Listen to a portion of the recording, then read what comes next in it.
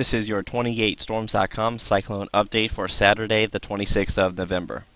If we first look toward Australia, we see that there is some convection just to the north of the top end, but nothing is overly organized, and conditions do not appear to be favorable for tropical development, and the same can be said for the convection across the southern Pacific. In the meantime, we have a much more active setup in the northern Indian Ocean, where we have newly classified Tropical Cyclone 5A, located just to the west of Sri Lanka and very close to the southern tip of India. The good news is that the cyclone is moving away from those portions of the coastline at a fairly decent clip, so flooding is not going to be as significant as it otherwise could be, but the storm will still have to be monitored as it continues to progress deeper into the Arabian Sea.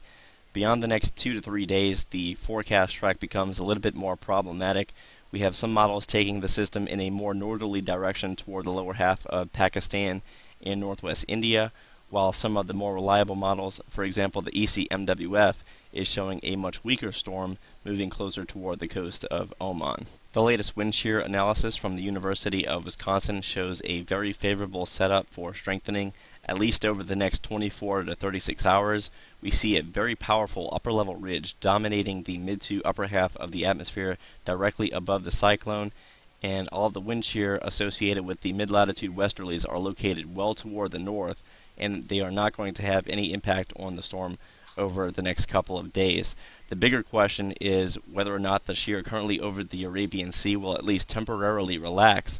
and if this favorable upper level ridge continues to follow the storm toward the northwest. If it does, we could be dealing with a stronger tropical cyclone, but if the shear does not abate, then the storm very well could begin to weaken as it approaches the northern coastlines in the Arabian Sea. The latest low-level vorticity analysis shows a rather strong vorticity max located exactly where we'd expect, just to the south of the southern tip of India. However, the vorticity max is slightly elongated from west to east, so it still can become a little bit better defined over the next couple of days.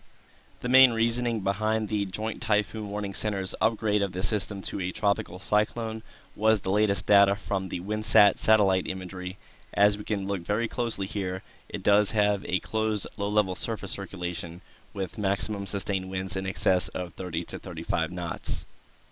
On a much more regional scale, we can see on the latest enhanced satellite animation that the storm is taking full advantage of the favorable upper level ridge dominating much of the region. We really don't see much in the way of any restriction of the outflow channels, so this is a healthy indicator for this tropical cyclone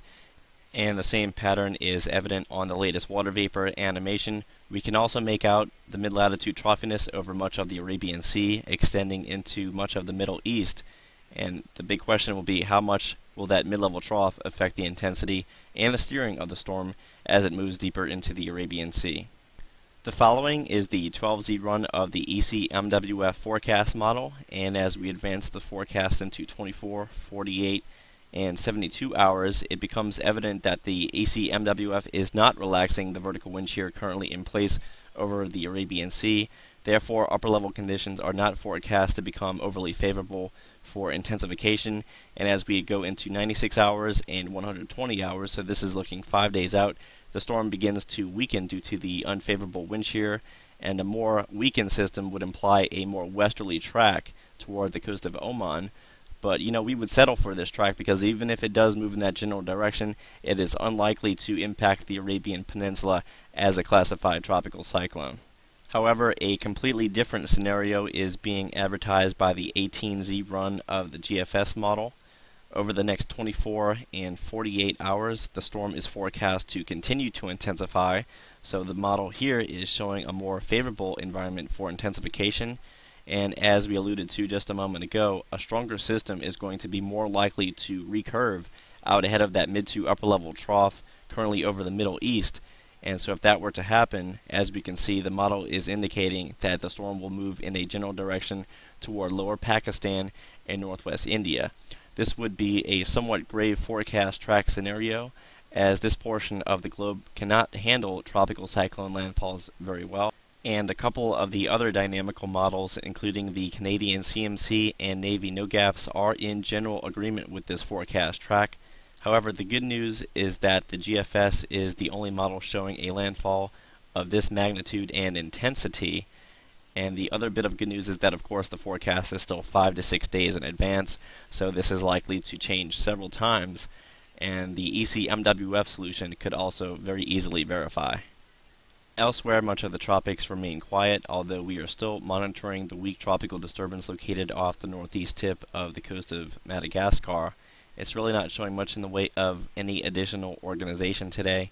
but it will still continue to be monitored as it does still have a slight chance of organizing into a minimal tropical cyclone as it drifts off toward the west southwest in this general direction.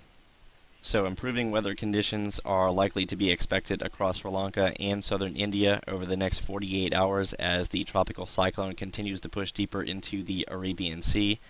And over the next few days, we will just have to continue to monitor the storm's progress before we can make a final forecast as to where the storm is most likely to make a secondary landfall, unless, of course, it does fall apart over open waters. So thank you for watching today's video. We will have another video posted by tomorrow afternoon here at 28storms.com slash cyclone.